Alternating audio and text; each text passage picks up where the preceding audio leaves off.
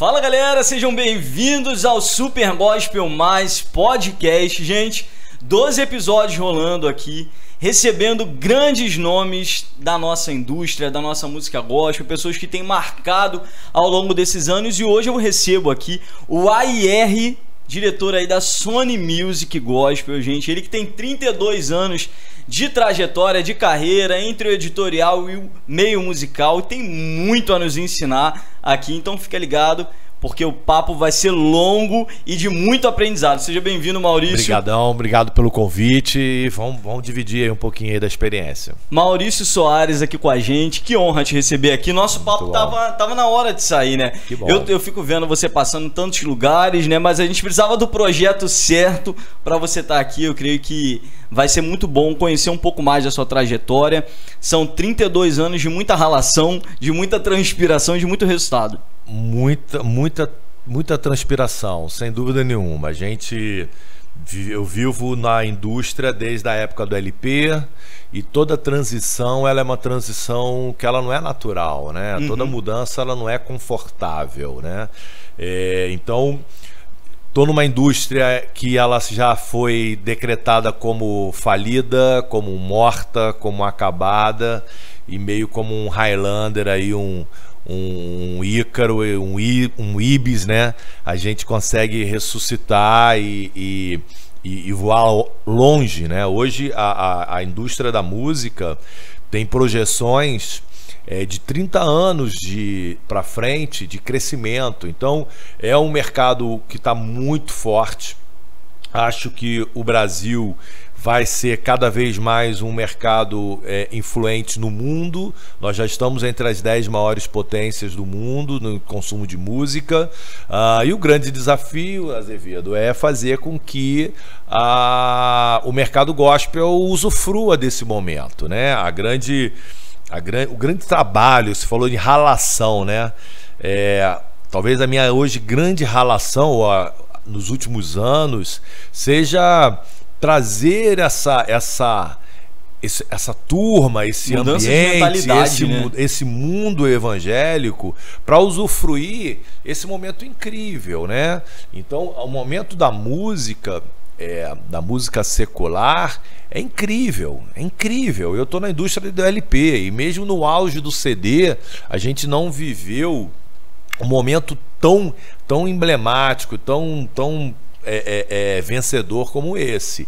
E aí, o que me dá um pouco de, de, de desespero, talvez, usando a palavra bem forte, é ver o quanto que o gospel, que já poderia estar usufruindo, já poderia estar bombando dentro do digital, ele ainda está se contentando com migalhas. A grande verdade é, é essa. Então é um trabalho. Essa mudança cíclica é, é, foi difícil, né, pro é, é, é, mas ela, ela, qualquer mudança, por mais simples que seja, ela começa nas pessoas. Uhum.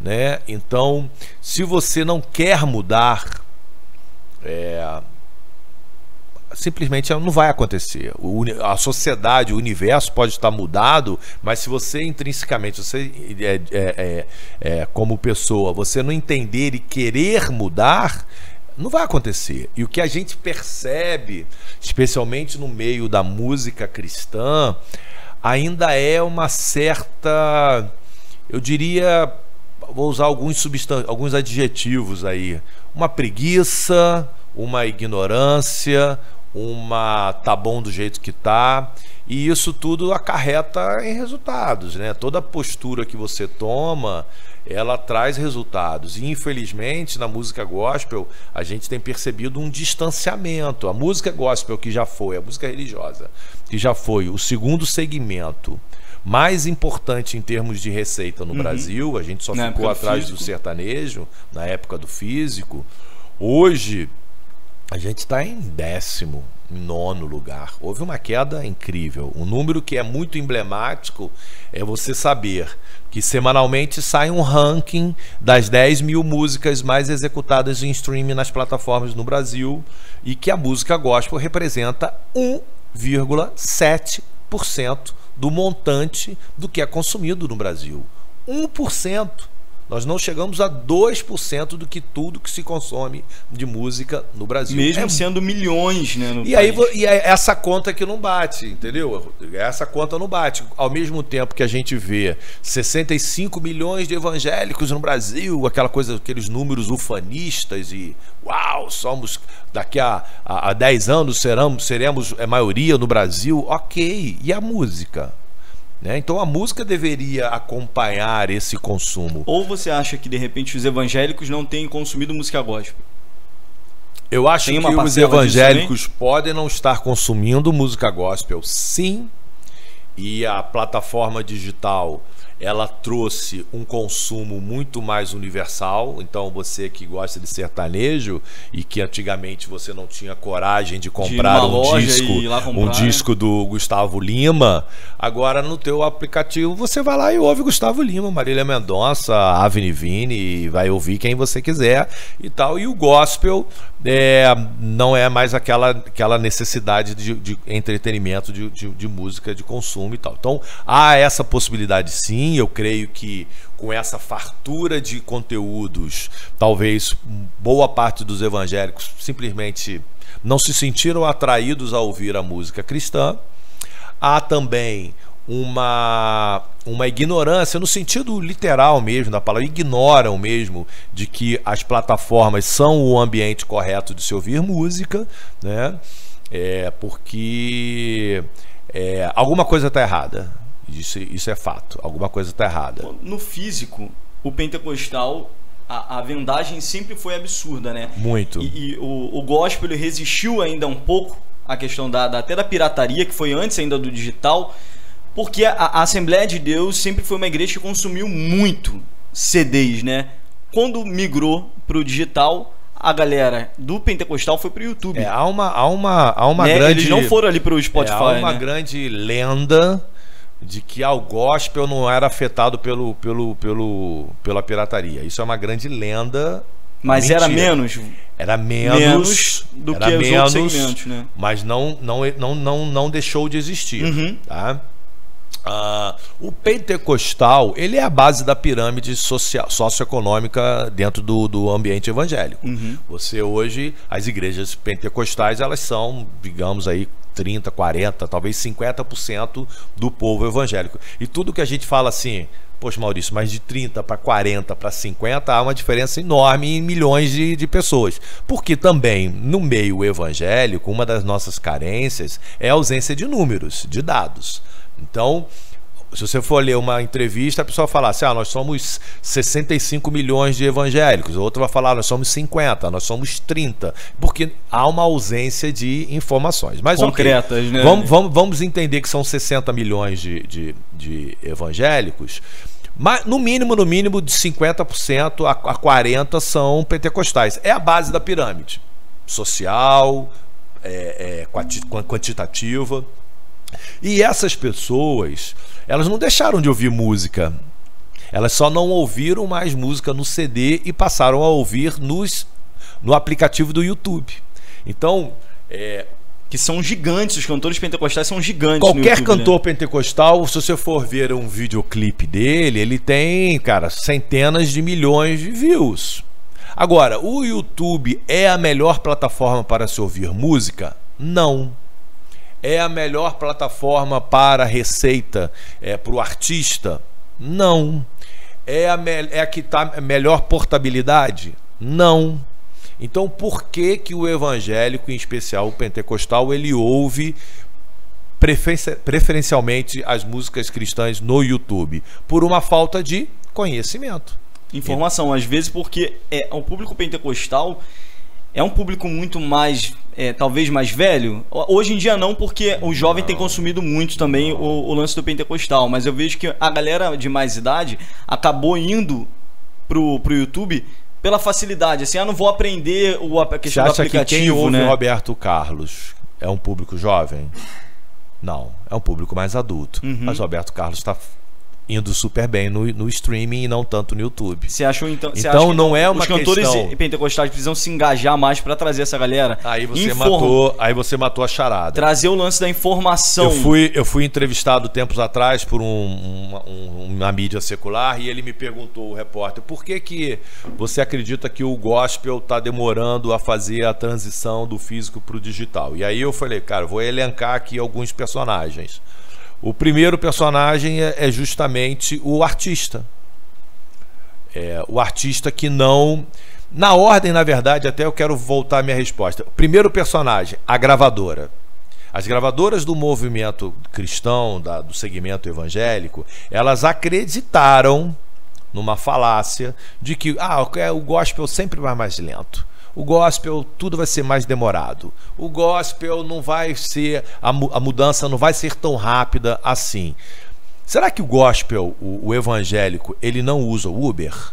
Será que ele não pede comida no iFood? Será que ele não usa banco digital? Então por que que na transição da música o evangélico ele seria re- refratário à mudança? Então a- o grande erro primeiro foram as gravadoras acreditarem e não se prepararem para a transição. Eu me lembro que nós estamos em 2021, desde 2015 eu na Sony Music eu não lanço nenhum produto físico. Apanhei demais, apanhei demais. E pessoas falam: ah, você quer matar o físico, como se eu tivesse esse poder. Não, não mando nem na minha casa, não teria esse poder de, de, de determinar o que, que o mercado vai consumir. Mas entendendo, lendo, fazendo a leitura do que, que acontecia no exterior, e por eu fazer parte da Sony Music, uma empresa multinacional, presente em mais de 60 países, a gente tem muita informação. Eu recebo é, informação todos os dias. E aí vendo que, poxa, cara, tá lá fora os caras estão crescendo. O digital começou como 5% da receita, já está em 25, 45, vai chegar uma hora que esses caras vão desembarcar aqui no Brasil. E não vão ser por velas como o Cabral, que levou semanas ou meses para chegar aqui. Vai ser de um dia para outro. E foi o que aconteceu. De um dia para outro, a primeira plataforma que desembarca no Brasil, o iTunes, e, e a coisa virou, a chave virou. E as gravadoras, nesse tempo do segmento, ainda achando que o CD ia durar e tal. Eu me lembro que a gente já estava já explodido, já 100% do meu faturamento em receita digital e eu tinha gravadoras concorrentes no segmento fazendo campanha contra CD pirata. E aí, cara, quando você tem um concorrente que está falando contra uma mídia que nem o camelô da rua não trabalha mais, porque o camelô já tinha deixado de vender CD pirata para vender pendrive. Então, quando você vê que a gravadora está fazendo uma campanha e colocando os artistas para fazer esse tipo de campanha, cara, realmente está muito complicado. E aí vem a mudança do digital, inclusive participei de um seminário uma vez e uma das pessoas de outra gravadora falou assim: "Ah, porque nós fomos surpreendidos, nós fomos atropelados pelo digital". E eu do lado pensando assim: "Mas foi atropelado porque quis". Porque todas as, as, as indicações já davam de que viria e que viria muito rápido. Então, o primeiro personagem desse atraso do digital dentro do gospel é a gravadora. O primeiro culpado são as gravadoras do segmento. Você acha que se a cena tivesse mais fortalecida, no- se todas as gravadoras tivessem ali focadas no digital, isso teria sido mais fluido? Essa Teria mudança? sido mais perfeito, seria mais Já- concatenado, hoje já seria muito super estabelecido. Muito, porque dentro da música, quem é o maior formador de opinião? A gravadora. Então, por exemplo, eu há cinco anos atrás, o, o meu querido amigo Roberto Azevedo já participou de vários dos meus eventos.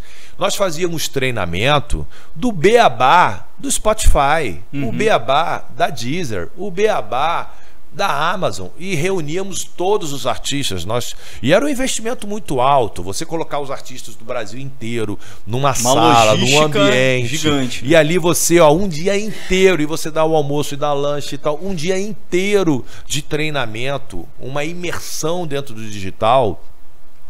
A gente já fazia isso com os artistas. Então, não é uma coincidência em que os artistas da Sony Music, do Guest Sony Music, terem saído muito mais à frente do que os demais em termos de entendimento do, do digital. E aí, a gente investiu no artista como formador de opinião, o que não aconteceu nas outras gravadoras. Se nas gravadoras eles não acreditavam ainda na mudança, muito menos ainda os artistas daquelas gravadoras entendiam. Então, enquanto a gente estava falando de digital, de marketing e de posicionamento e de novas formas de lançar o conteúdo, de rede social, artistas ainda falando de CD, levando CD para as igrejas e tal. E aí, qual é o terceiro personagem desse desse dessa história? São é o público. Então o público vê, cara, quem é que que me ensina sobre música? Ah, é a gravadora. A gravadora está falando de CD pirata o artista tá falando de CD e lançando CD, cara, eu não posso ser doido de achar que o digital vai chegar no gospel. Então, esses três personagens que compõem o que é o mercado da música, é, esses três personagens ficaram autistas, assim, ficaram completamente alheios à realidade do mercado, né? E a Sony não, a Sony o tempo todo digital, digital, digital, digital a ponto deu, por exemplo, de nós, na nossa estrutura, a gente fazer um, um, uma, um, um, usando uma palavra agora muito comum, um refit, uma reestruturação da companhia toda, abrindo mão de personagens, de funcionários que trabalhavam com o CD físico, e do dia para noite a gente falou assim, olha, cara, valeu, obrigado, mas nós não vamos mais trabalhar com produtos físicos. Nós tínhamos, tivemos diretor nacional de venda sendo demitido da companhia porque não tinha mais razão de ser de você manter um produto físico. Então, o, o atraso que a gente vive no mercado gospel, e, e, e isso não é uma questão de que aconteceu há três anos, ah, porque agora está todo mundo voando no digital. Não estão voando não estão voando. A realidade que a gente vive no digital hoje é, é, totalmente diferente da que os artistas do segmento gospel vivem. Eles estão ainda no 1.0, a gente está no 10.1. Então, isso, esse atraso, e aí eu falo muito sobre essa questão do conhecimento. É, e a Bíblia fala que a gente perece pela falta do conhecimento, se aplica completamente a isso. Então, enquanto um artista secular, ele hoje, ele já entendeu o que que, o que, que demanda para ele, para que a música dele se torne um sucesso, que, que demanda? Demanda que você tenha um cronograma de lançamentos organizado, que você fale não só no pré-lançamento, no lançamento, mas no pós-lançamento, que você faça parcerias, fits e collabs com outros artistas, que você esteja atento aos novos estilos musicais, que você seja é, frequente nas suas redes sociais, divulgando os seus conteúdos. Então há um arcabouço de, de atitudes que o artista precisa ter. Antigamente, na época do físico, o artista ele basicamente trabalhava no repertório, na gravação e na entrega da master. Entregava o master para a gravadora, e a fazia gravadora ali, tinha que se virar ali fazia ali uma semana, duas semanas de, de me engana, de me engana que eu gosto ali de divulgação, uma sessão de autógrafos, uma entrevista na rádio e tal, e acabou. E, e às vezes a contragosto, né? Muita má vontade. Uhum. E ali ele pegava as malas e partia para a estrada e aí você só ia saber dois anos se o se o CD ou se a música de fato viraram um ano e meio, dois anos depois. Hoje, se o artista não for o seu maior divulgador, o projeto simplesmente não vai. Antigamente, 10% do processo era o artista, 90% era a gravadora. Hoje é 50% o artista, 50% a gravadora. Ah, mas o artista me entregou 10% do que ele deveria ter entregue de 50. A gravadora não vai conseguir fazer 90. A gravadora, o teto da gravadora é 50. O teto do artista é 50. Então, para você ter 100% de resultado no que você faz, todo mundo tem que trabalhar. Então, aquela ideia do artista na rede, tocando violão, e se sendo inspirado, e passeando, e viajando e postando foto de lagosta ou de picanha. Isso já foi. Isso já foi. A realidade do mercado hoje, ela é completamente diferente. O artista não é mais hoje inspiração, ele é basicamente transpiração. Ele basicamente ele é estratégia, ele basicamente é planejamento. E aí, de repente, os mais santos e puristas falarão assim: "E onde entra Deus nisso?" E eu costumo dizer na minha mentoria que o profissionalismo ele não é excludente do espiritual. Pelo contrário, eles são complementares, porque se eu faço para Deus, eu faço da melhor forma. Uhum. Se eu faço como profissional da melhor forma, é porque eu tenho entendimento de que o meu propósito é atingir o maior número de pessoas com a minha mensagem, com a minha palavra. Então, em vez de ser coisas antagônicas, o espiritual e o profissional, eles são completamente encaixados. Grande parte dos artistas, eles acham que eles para serem espirituais, eles não podem ser profissionais. Aí há um erro absurdo, porque se Deus te deu um talento, esse talento é para você levar para o maior número de pessoas e não para você reter num nicho ou num grupelho de pessoas. Então, esses, esses dogmas dentro da música cristã são coisas que a gente vem tentando, de quebrar, alguma né? forma, quebrar mesmo que na base mesmo do, do bíceps e da, e da, e da intensidade. Muito, é, né? eu vou te falar processo... que eu, eu tô com 52 anos e converso às vezes com amigos meus sobre o quão, o quão cansado eu tô. Que às vezes eu me vejo como um Don Quixote, sabe, na história de Don Quixote de La Mancha, que o cara lutando contra moinhos de ventos como se fossem dragões. Assim, a impressão que me dá é que, cara, eu não, quem, eu não consigo carregar esse mercado Quando você costas. veio, você 11 anos de projeto Sony, né? É, indo para 12 indo já agora. 12.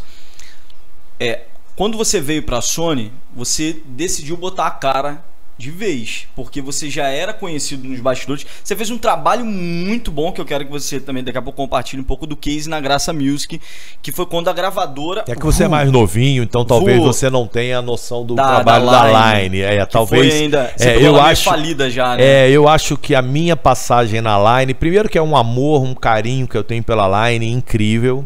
É, a Line, a Line que de fato me inseriu no mercado da música. Eu tive uma passagem na MK, mas foi uma passagem. Lá foi gerente de marketing. Lá, foi, é, né? fui gerente de marketing, relativamente. É, é, é comecei ali para trabalhar na área de livros e depois que a gente foi migrando para a área de marketing na MK. Mas foi uma passagem relativamente curta, mas foi muito importante porque ali me deu foi o já start, né? aquela picadinha da música. gravadora, né? Você tinha trabalhado na editora e ele exato, foi a primeira passagem exato. gravadora. A MK foi importante para me dar essa picada do que, olha, a música. Foi uma passagem de quanto tempo lá? Três anos e pouco. Três anos e pouco, de né, case MK. dessa época?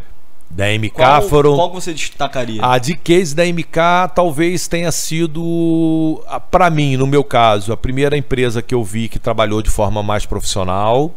Segundo, como case ali, cara, lançamentos da banda Catedral. A gente lançou um projeto Revolução e foi ali, ali de forma muito intuitiva, sabe, Rodrigo? Muito intuitiva. Ali a gente começou a fazer o esboço do que, que seriam planejamentos de marketing. Então, é, isso em qual ano, mais ou menos? Ah, um, aí ano tu me quebra. É. Me, só o único ano que eu, me, que eu me lembro é que eu entrei em 2001 na Line Records. E aí você vai de trás para frente, aí vai vendo. A aí passagem foi, teve 90 um aí, teve um tempozinho de Bom Pastor com Eclésia e EBF, então vamos então lá. Então você pegou top... também o período de Com Muito Louvor? Com, com muito louvor, que foi o lançamento que eu foi, também, foi, foi né? com muito louvor. Foi o primeiro disco do Kleber Lucas, que eu me lembro muito bem. Foi um projeto da Fernanda Brum que a gente lançou. Marina de Oliveira lançou um projeto chamado Coração Adorador na época. Tinha a banda Rema Girê. Mas em termos de planejamento, cara, planejar mesmo, ó, vamos gravar vinheta, vamos fazer isso, vamos fazer turnê aqui, tal, tal, tal, foi com a banda Catedral. E foi um absurdo, foi um sucesso incrível e tal. Dali eu tive, eu tive uma sensação, uma vontade é, de ter uma experiência de morar em São Paulo, então e eu estava recém-casado e ali eu, eu, eu eu conversei com Deus claramente de que eu precisava ter essa experiência de morar em São Paulo e eu precisava de algum, algum sinal de que era era era para eu ir e aí eu, um dos sinais que eu pedi foi a minha esposa tem que aceitar de primeira a ideia da gente morar em São Paulo. E aí eu, cheio de cuidado, chego em casa e falo assim: o que, que você acha da gente morar em São Paulo? Ela falou assim: vamos. Uau! Aí eu falei, pronto, é Era isso. e eu tive E eu tive boas propostas para ir morar em São Paulo. Tive a oportunidade de morar em São Paulo. E lá, no- encurtando a história, no meio do caminho, eu encontrei a Line. A Line me encontrou. Um período bem quebrada, né? Bem difícil. Completamente, completamente. A Line, a Line, se eu for um dia escrever um livro da minha vida, vai ser o momento da reengenharia, da reconstrução do, do monturo ali, sabe? De, Porque do- são, são lances diferentes, né? Graças a Deus, na sua trajetória, você pôde trabalhar, pegar empresas em estágios diferentes, né? Na Sony você veio começar um É, projeto. eu não sei se foi graças A a. Assim, o bom não é bom graças a Deus, O não, porque eu só final- peguei pedrada. né? eu Não, só mas peguei foi bom pedrada. pra você ter. essa- ser Mas essa a minha esposa, hoje, né? voltando aqui a, a citar a minha esposa, ela conta sempre, ela sempre fala comigo o seguinte, e eu concordo plenamente, acho, concordo com essa visão. O profissional que chega na Sony Music era um profissional muito reconhecido no mercado, graças a Deus, por onde eu passei, seja na Graça, seja na Line, por onde eu tenha passado no toque, eu deixei uma excelente impressão. Mas tudo foi ralação. Foi muita ralação. Só que, quando eu chego na Sony, o que, pra- o que teoricamente seria é, o ambiente mais estruturado, com mais investimento, um bom budget de investimento e tal, foi o meu maior desafio, porque ali eu começo do zero, literalmente do zero. Eu ganhei um computador, um celular, uma mesa e um telefone. Foi mais desafiador começar do zero do que levantar uma empresa falida? São coisas diferentes, porque se eu entro numa empresa falida e eu não consigo salvar a empresa falida, Foram seis anos e meio lá? na Line foram seis anos e meio. Se eu entro numa empresa falida e eu não consigo recuperar a empresa falida, eu só fui mais um numa empresa falida. Ela estava tão falida que o Maurício não deu jeito. Agora, quando você começa a pegar um projeto do zero, o holofote está todo em você. Então, você tem a grana, você tem a estrutura, você tem a marca, e então você tem que fazer a coisa dar certo. Então, o é, todas as minhas relações, e foi muito, muito doido, porque eu tive experiência de uma empresa falida, eu tive experiência de uma empresa profissional familiar, eu tive experiência de morar em São Paulo, que para todo profissional é uma experiência incrível. Eu tive uma experiência de trabalhar num ministério de louvor, onde eu chego e uma semana depois estoura Terceira Guerra Mundial, que é a saída dos principais componentes, e ali eu tive uma dependência de Deus Ali, incrível. gerenciamento, ali você teve que lidar muito com gerenciamento de crise, gerenciamento né? de crise, gera- gerenciamento de ego, gerenciamento de. de A gente tá falando do- do Toque no Altar Music, Do Toque né? no Altar. E antes do Toque no Altar, eu tive a Graça Music, que era o quê? Aquela gravadora. Tímida, né? Tímida, que não fazia mal a ninguém, que era uma coisa da igreja, era um puxadinho da igreja, onde o foco A deles própria era igreja atender, consumia. atender a própria igreja com artistas e tal, tal, tal. E ali eu chego, primeira coisa que eu faço é mudar a logomarca e mudar a comunicação visual da companhia e trazer artistas e artistas que trabalharam comigo falando, "Não, Maurício, pô, eu quero ir Foi o contigo. período não." que a graça mais despontou entre todas, né? Porque trouxe nomes de peso. Ali foi o grande projeto do André Valadão, o Fé, o maior projeto da história do André foi ali. Ali eu trouxe o Thales, ali a gente trouxe Mariana Valadão, grandes projetos da Mariana, Heloísa no Rosa. auge da Mariana. né? Heloísa da Mariana. Rosa, O Estante da Vida, pra mim, um dos maiores discos da, da, da, da, da história dela. É, então ali a gente conseguiu E o fazer. grande case que foi o Thales, né? Sim, o Thales. O Thales foi um case absurdo, porque você apostou onde ninguém tava É. via, né? Porque o Thales ele chegou pra abrir um, um novo, uma nova sonoridade, uma nova forma de composição. Hoje, né? Hoje, hoje a gente pensa assim, né? É. Porque na verdade, na época, quando a gente lançou, o Thales era um louco. Ah, esse cara é maluco. Mas Esse virou, é um cara virou maluco. a chave rápido O que também. você vai né? lançar Porque um, você vai lançar um sucesso, disco. né? Você vai lançar um disco com um cara de óculos escuro? Como assim? Sabe? Então foi tudo muito já vindo com um blecão, né? Cheio de foi tudo estilo. muito diferente. Eu me lembro de apresentar o dono da companhia e falar assim: não, não, não, não, não, não, não, não. E aí eu tenho que falar assim: olha, eu tô com um pouquinho de crédito aqui na companhia. Deixa, bota essa aqui na minha conta e aí daqui a pouco, mais pra frente a gente fala. Aí ele falou assim, então tá. Quando ele falou então tá, eu virei as costas e fui correndo, fui embora. Falei, opa, já o tô com ok. já tava pronto. Quando me, me já tava isso, mix. Já chegou na Tava sua mão mix, a mix. Mix. Mix. Tava mix. O Alex Passos, um grande amigo, me apresentou o projeto e toda vez que eu ia a Belo Horizonte para tratar de coisas do projeto do André Valadão, o Alex me recebia no aeroporto e lá em Belo Horizonte, Confins, literalmente é em Confins, são 60 e tantos quilômetros de distância, e aí ele me botava para ouvir e tal e tal, falei, pô, legal e tal, mas e também pensando lá do outro lado lá da empresa, mas você não vai ser bem recebido e tal. Até que numa expo em São Paulo eu conheci pessoalmente. O Thales ficou ali umas quatro horas para eu poder te- atendê-lo, comeu metade das coxinhas empadinhas que tinha no stand. e aí quando a gente sentou para conversar, aí esquece. Aí você esquece porque o Thales ele é intensidade, ele é carisma, ele é verdade. E ele falou, cara, olha só, eu quero ir, é isso, isso, isso, isso. Eu falei, não, ok, daqui a duas semanas você aparece lá no Rio, que a gente vai. Foi um case de quantos meses pra virar o sucesso? A gente sempre, a, a gente sempre diminui o tempo do, do case, né? Mas o case levou quase dois anos aí para virar, de fato. Mas foi um ano Porque de o DVD, um ano de o semente. DVD consolidou, porque o Na Sala do Pai já fo- foi, disco de ouro na época, foi bem sucedido, mas quando ele veio pro ao vivo, ele pôde trazer o showman Não, ali, eu, né? eu, eu estive com o Thales essa semana e ele falando exatamente isso. Cara, eu sou o palco aqui baixinho, batendo na mão de todo mundo. É isso que eu sou. Eu sou povo. E, e inclusive é o que a gente vai fazer nesse ano de 2022 é um projeto DVD com público e no meio da galera mesmo, assim. Não estamos não, Rio não de estamos- Janeiro? 99% de chance de ser no Rio de Janeiro. é, E vai ser. Não vai ser nada tecnológico, vai ser suor. É, Que é, um, o Thales é. que a galera curte, É, né? e que a gente ficou muito impressionado. Eu recebi o Thales aqui, eu tô há três, quatro dias caminhando com ele aqui no Rio de Janeiro.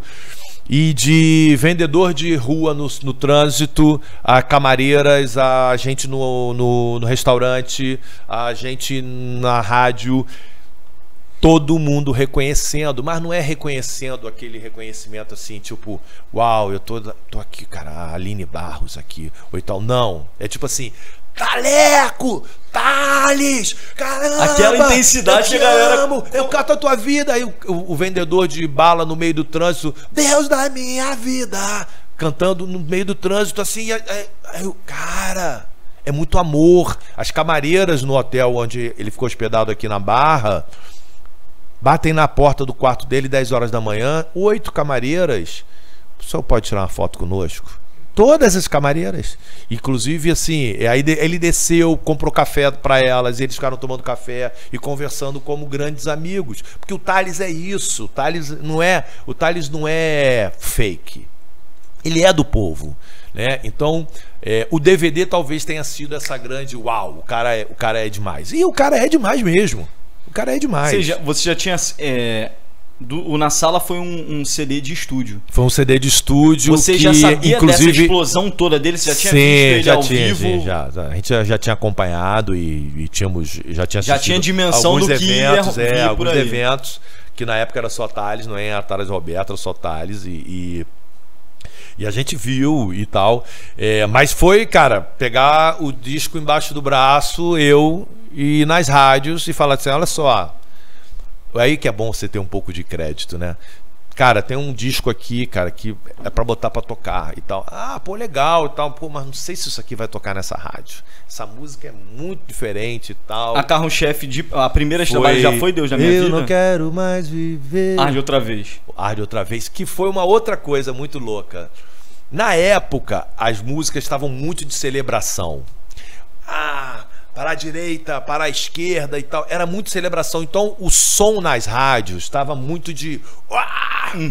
E aí eu falei com Thales: olha só, se a gente bota uma música groove, ela vai ser mais uma nessa poluição sonora dentro da rádio. Vamos fazer uma música que toca devagar e depois ela cresce. Aí ele falou assim, cara, eu, eu, eu não iria por essa música. Mas é, você é o chefe, vambora. E, e a aposta foi perfeita, porque é um pouquinho do que que aconteceu com a Adele. A Adele, quando vem, piano e voz, tava Rihanna, Beyoncé e Pink. Então, e aí vem a Del. Pianinho e voz. Ela se destaca. Uhum. Então é tipo como se fosse um refresh no teu, no teu ouvido. E a música veio e explodiu e tal. Só que o Thales, aprendam aí jovens artistas, ele não tocava só de banda. O Thales não, não andava só de avião. O Thales não comia só em grandes restaurantes ou não ficava só hospedado no Windsor ou no Hilton. O Thales fazia cinco eventos por dia. Thales, olha só, vai ter um culto de senhoras a, é, a sub-80. Só assim, só senhorinha mesmo. Vamos lá tocar? Vamos. Thales, tem um culto infantil do berço. Vai lá tocar? Vai. Thales, tem uma vigília 4 horas da manhã lá em Carapicuíba. Vamos? Vamos. Então, o que, que acontece com o Thales? Ele é o maior artista do segmento gospel sem, sem erro. E aí o que, que ele quis Qual foi o desafio dele? Mostrar isso. Então, às vezes, eu vejo muito artista muito talentoso, mas preguiçoso. E aí achando que fazendo dancinha no TikTok ou que fazendo é, é, postagem no Instagram, ele vai se tornar popular. Não vai. Porque a entrega das redes sociais é de 1%, às vezes menos. Então, se você não for no tete a tete ali, no, no, no, no, no dia a dia, se você faz um culto, às vezes tem duas mil pessoas. Às vezes você faz um post e tem 150 pessoas que estão atendidas. Então o Thales ele fez um trabalho de semeadura por um ano e meio, dois anos, que é case. E depois, tempos depois, Rodrigo, eu fui fazer esse mesmo projeto com preto no branco. O preto no branco, nós pegamos um. Eu desenhei um, um fictício mapa do Brasil na minha sala. E aí eu ia lá, mais ou menos de estado em estado. Então lá, Rio Grande do Norte, rádio tal. Qual é a principal igreja mesmo lá no Rio Grande do Norte? A igreja tal, a pessoa tal, tal, tal, tal. Ah, Manaus. Pô, Manaus tem a Boas Novas, tem o, o Franklin, tem tal pessoa, tem o Nailton e tal, tal, tal. Nós listamos isso tudo e eu passei pro pessoal do, do, da, da, da, do escritório do Preto no Branco e falei assim: olha, essas pessoas temos que conversar com elas temos que levar nessas igrejas, o preto no branco tem que cantar nesses lugares e tal. E aí o que, que foi feito? Contratou-se um cara que foi fazer uma viagem precursora no Brasil inteiro. Eles pegaram um carro, eles acabaram com um carro, que ele saiu de Belo Horizonte, foi até o sul, até a ponta voltou via Mato Grosso, do Mato Grosso para Mato Grosso, Mato Grosso, Goiânia, Brasília, voltou para Belo Horizonte. Descansou 10 dias, foi Salvador, Aracaju, Recife, Maceió e tal, e foi e foi parar lá em Porto Velho. Então, o, o fenômeno preto no branco, ai, foi um fenômeno. Não, foi trabalho foi semeadura. Até hoje é um dos maiores cases da Sony, né, do, do seu período. Ah, graças a Deus a gente porque tem ninguém alguns, explica. Né? A não, gente assim, tem algum, é, não, mas é ninguém um explica dois, né? Deus é um, é um fenômeno. fenômeno Priscila Alcântara né? é um fenômeno, Kemuel é outro fenômeno, Leonardo Gonçalves é outro fenômeno. Porque é, é Damares é o maior fenômeno, muito, né? Uma coisa que você fala muito e, e, e é verdade são os pilares, né? YouTube, plataforma digital, igrejas, rádios, Sim. redes sociais Sim, tudo O, hit no gospel ele é mais difícil. Ser- virar, ele esses é mais pilares têm que difícil- estar alinhados, Ele é né? mais difícil de ser feito, o hit no gospel, do que no secular. No secular você faz um bom investimento de YouTube, você faz um bom investimento de rádio, você tem um grande é, empresário, Você ele vai consegue conseguir diferenciar. colocar- Você, por exemplo, você tem resultados ali como gravadora e aí você olha números de como performou em plataformas digitais, é, nos streams. Mas existem sucessos que funcionam nas plataformas digitais e se limitam às plataformas digitais.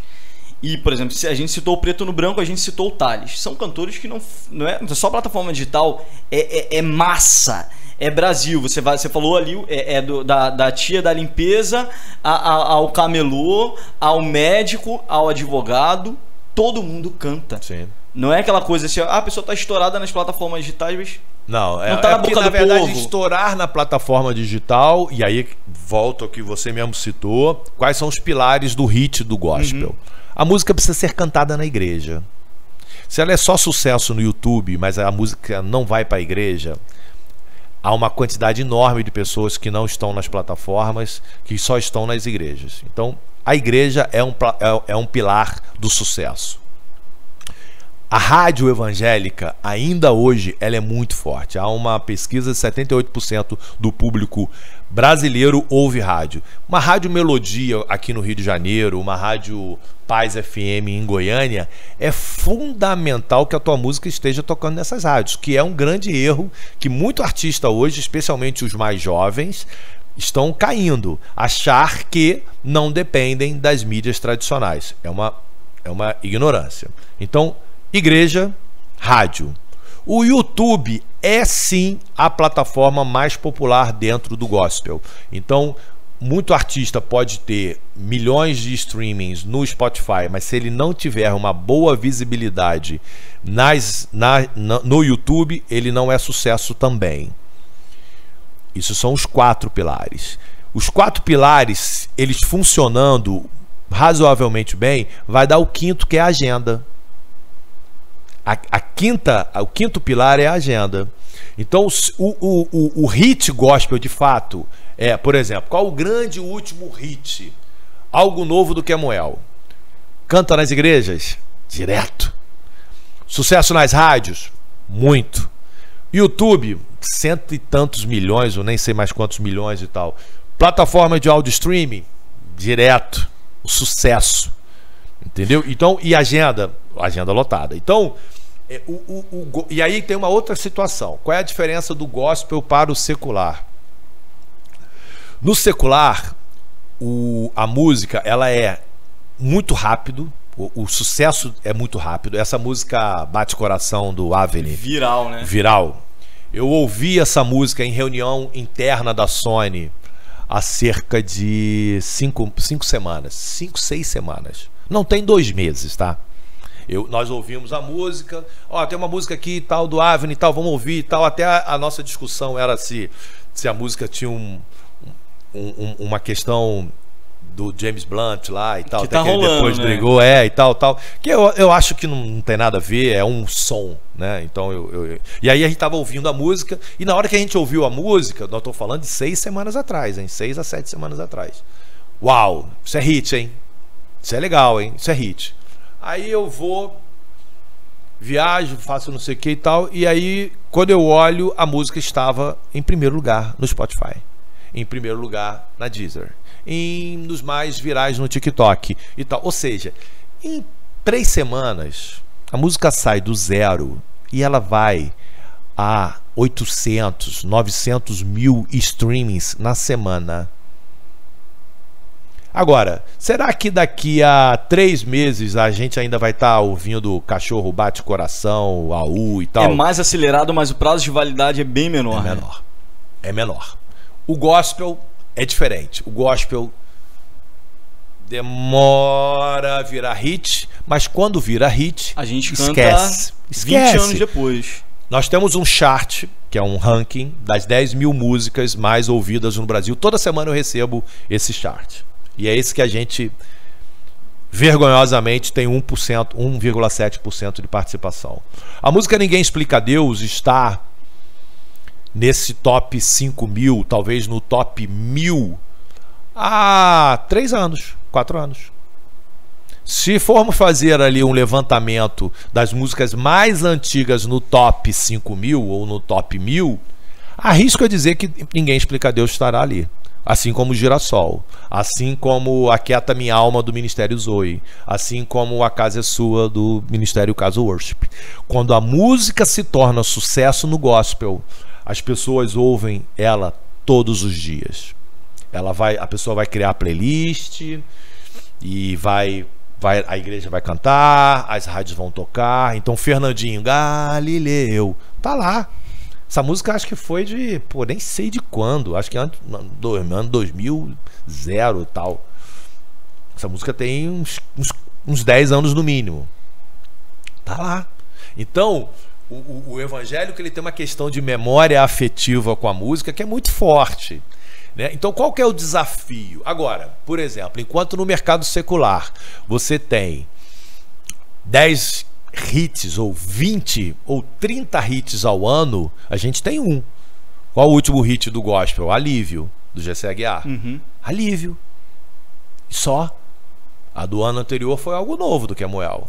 A do outro ano talvez tenha sido, não sei, se Leandro Borges ou. Jó ou também. é, aí você tem uma Midian. Então, assim, você consegue meio que pensar os anos em hits no gospel. Isso é pobre demais. Dentro do, do- de todo o projeto Sony, você tem é, noção de em números. Isso que é água, né? Isso, água. Às vezes a gente bota álcool, né? Não pode ser álcool É gel. tanto álcool gel, álcool né? 70 aqui, não, é água mesmo. É, qual é o single de maior destaque em números? De Ninguém explica Deus. Ninguém explica Deus. Ninguém explica Deus. Ninguém, ninguém explica Deus foi o primeiro. largada muito foi o primeiro o vídeo. O primeiro vídeo, Ninguém explica Deus, foi o primeiro vídeo a bater a casa de 100 milhões de views na Velvo, dentro do gospel mundo. 100 milhões tem, cara, assim, na verdade, Ninguém explica Deus, ele tem vários recordes. Vários recordes. Como o Girassol, da Priscila Alcântara, também tem re- recordes que nenhum outro artista é, e música gospel teve e que não vai ter.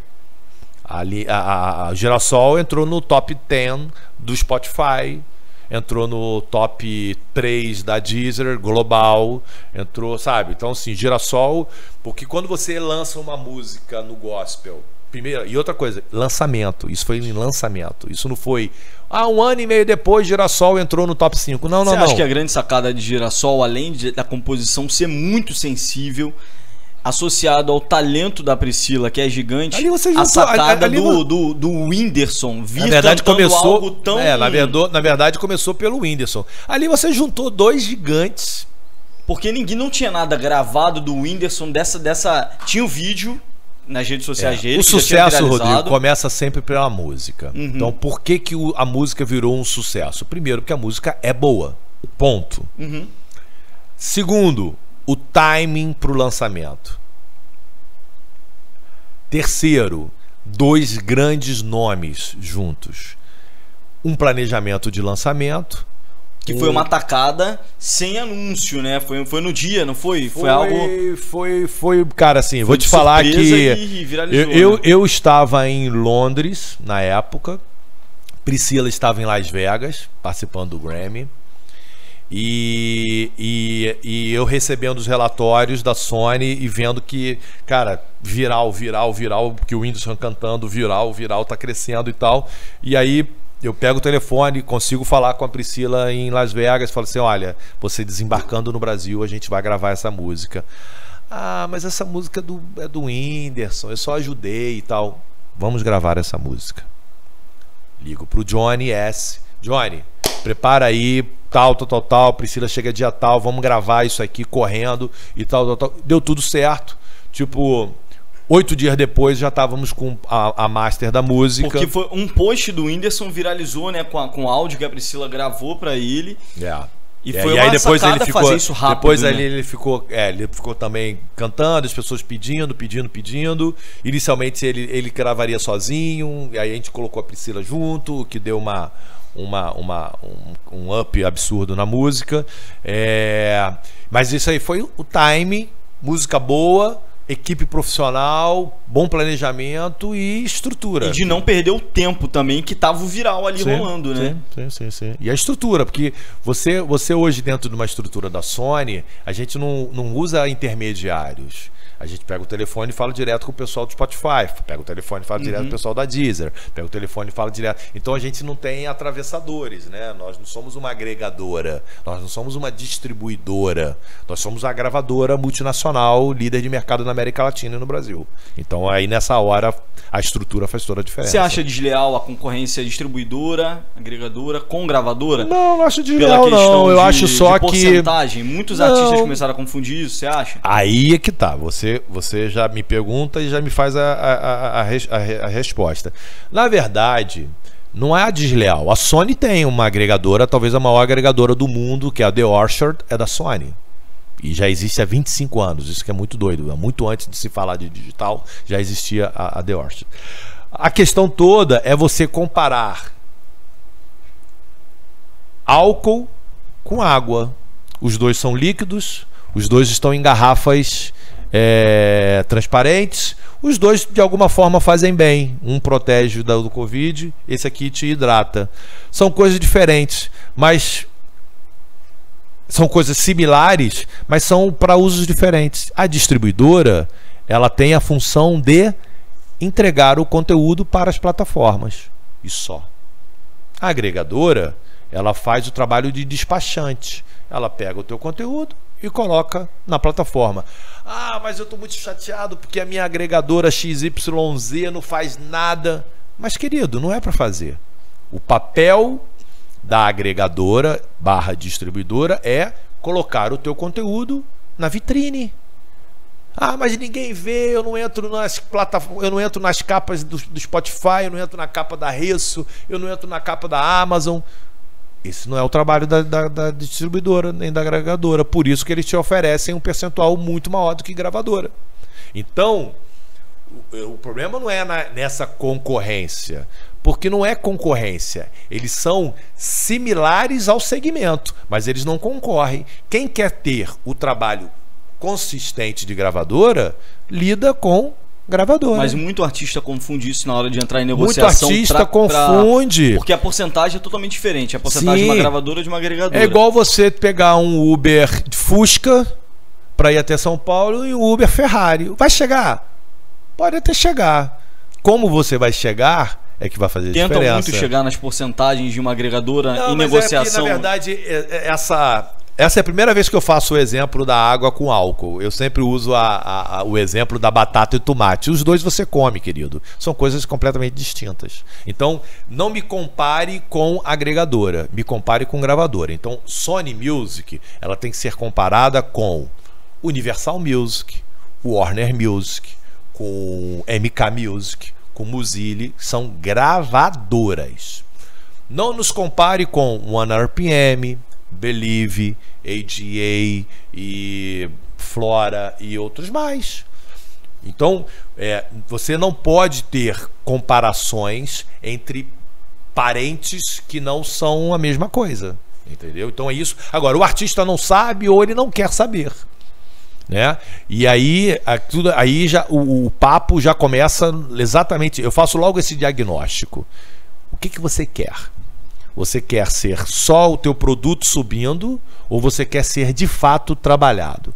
Você quer ser de fato ter uma carreira consistente? Você quer ser de fato cuidado?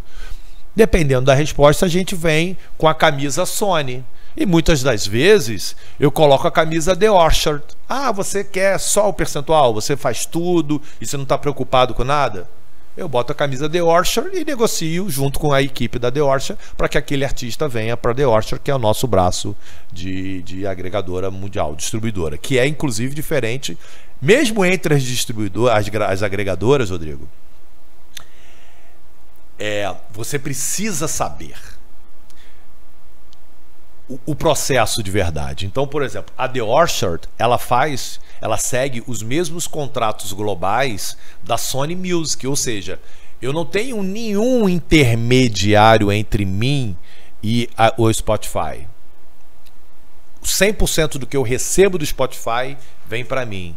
Existem algumas agregadoras aí no mercado que, no fundo, elas são subagregadoras. Elas têm uma outra empresa que, essa sim, vai lá no 100% do Spotify e recolhe. Então, é muito importante que as pessoas, que os artistas entendam o jogo dos números. Então, há uma distribuidora, por exemplo, que adora falar: não, gravadora não, porque te pagam tantos por cento e eu te ofereço 50, 60% do que eu recebo. Olha aí, a, segunda frase ou a segunda parte da oração é que quebra tudo. 60% do que eu recebo. Mas você recebe 100%? Não. Você recebe 80. Você recebe 75. Então é 60 dos 75. Nós estamos falando de menos, muito menos do que o cantor, mas o cantor ele gosta de às vezes de ouvir história. E no nosso mercado existem muitos contadores de história. Uh, então, quando o contador de história ele se encontra com quem gosta de ouvir história, a história com H não vai ser boa. E é o que, é o que acontece. É o que acontece demais. É muito difícil, por exemplo, você é IR. Eu tô muito ácido.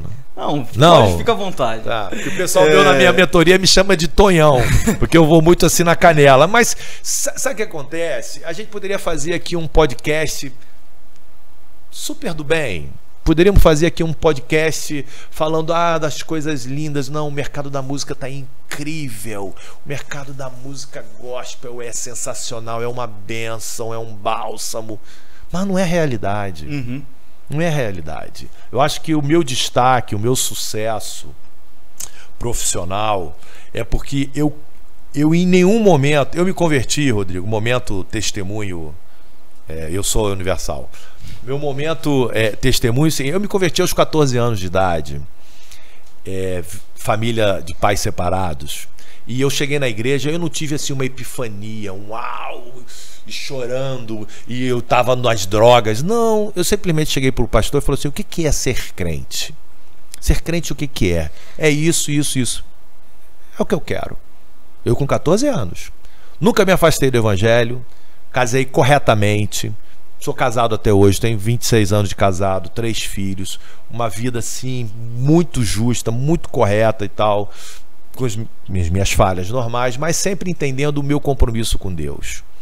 E por entender o meu compromisso com Deus, eu sempre falei assim, eu pensava o seguinte: primeiro que a minha oração sempre foi, Deus, me dá sabedoria. Eu aos 14 anos, eu era tão racional que a minha oração ela era racional, do tipo, me dá sabedoria, porque eu sabendo o seguinte, cara, se Deus me der sabedoria, cara, eu vou ter prosperidade financeira.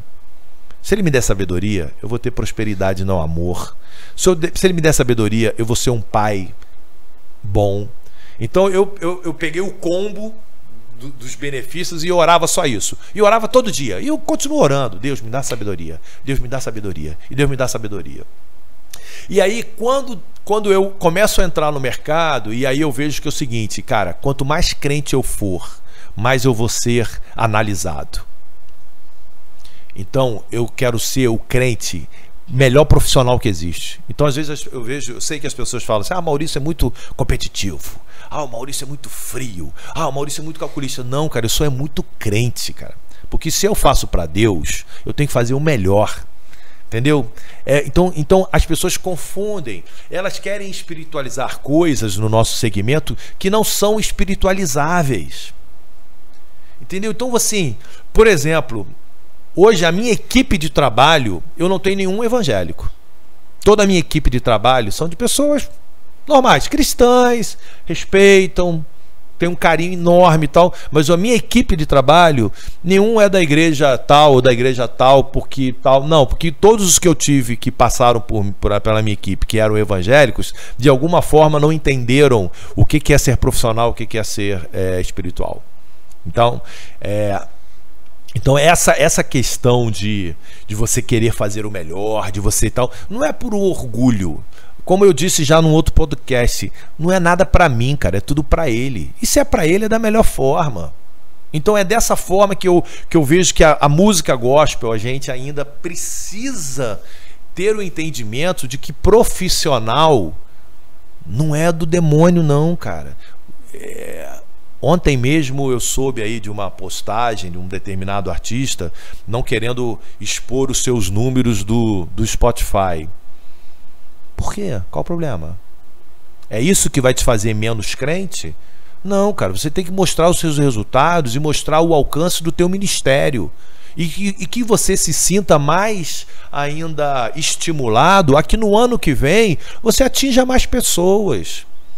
Nós não somos nada, nós só somos ferramenta. Por trás dos números, as pessoas confundem isso. Eu sempre falo, por trás dos números estão as vidas. Adoro né? números. Eu adoro números. Quanto Porque mais são- gente ouve minhas músicas, mais gente está sendo impactada pela, pela palavra. Se a gente tem uma mensagem a comunicar, e se a gente lança, é pra chegar nas pessoas, né?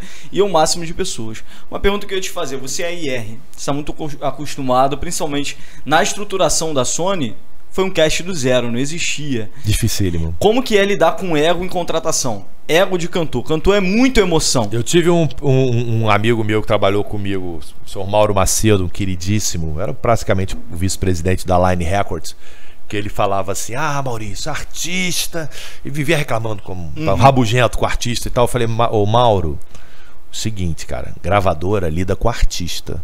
Se você quer, quer lidar com qualquer outra coisa, vai, vai, vai trabalhar com banco, vai trabalhar com jardinagem, vai trabalhar com, com arquitetura. Artista é artista. E se artista fosse racional, ele era engenheiro, uhum. ele não era artista.